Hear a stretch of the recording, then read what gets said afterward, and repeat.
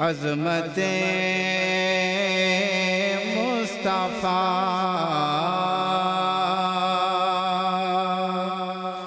ڈال دے قلب میں عظمت مصطفیٰ حکمت اعلی حضرت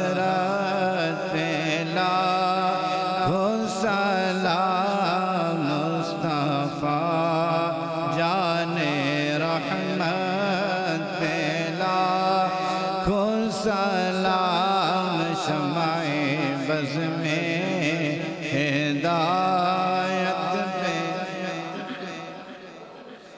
السلام۔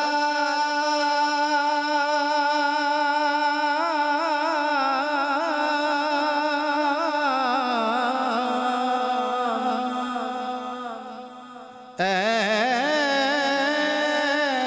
خدا کے حاضر و ناظر رسول،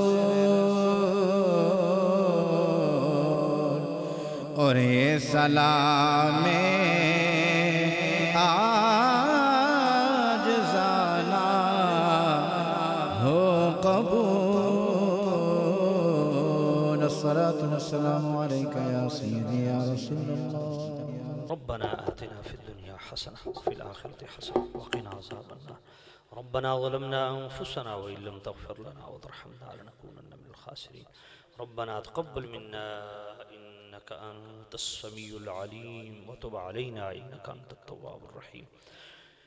يا مقلب القلوب ثبت قلبي على دينك. يا مصرف القلوب صرف قلوبنا على طاعتك. ربنا لا تزغ قلوبنا بعد إذ هديتنا وهب لنا رحمة إنك أنت الوهاب. اللهم عافني في بدني. اللهم عافني في سمعي. اللهم عافني في بصري. لا إله إلا أنت. الحمد لله الذي عافاني. مما ابتلاك به وفضلني على كثير من خلق تفضيلا. بسم الله الذي لا يضر مع اسمه شيء في الأرض ولا في السماء وهو السميع العليم. لا حول ولا قوة إلا بالله العلي العظيم. اللهم اغفر لحينا وميتنا وشاهدنا وغائبنا. وصغيرنا وكبيرنا وذكرنا وانسانا اللهم من حييته منا فحيه على الإسلام ومن توفيته منا فتوفه على الإيمان. مالك مولا قریم رؤوف الرحیم نبی صاحب اللہ صلی اللہ علیہ وسلم کو سیرہ جلیلہ سے۔ جن ساتھیوں نے اس پاک و پاکیزہ محفل کا اہتمام فرمایا، قبول و منظور فرما۔ سب دوستوں کے ایمان میں، مال میں، جان میں، اولاد میں، عزت میں، رزق میں، صحت میں بے حساب برکت نصیب فرما۔ برکات کو ہمیشگی نصیب فرما۔ ہم سب کا خاتمہ بالخیر، بالایمان، بالعافیت۔ فرما۔ مالک مولا کریم رؤوف الرحیم نبی صلی اللہ علیہ وسلم کو سیرہ جلیلہ سے۔